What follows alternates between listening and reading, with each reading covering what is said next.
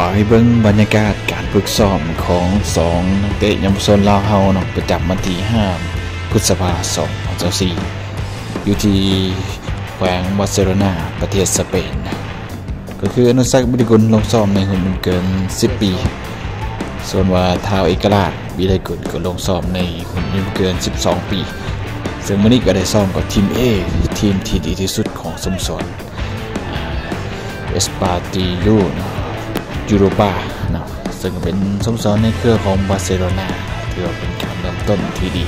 ไปเบิ่งบรรยากาศการฝึกซ้อมประจำวันโดยรวมกันเลย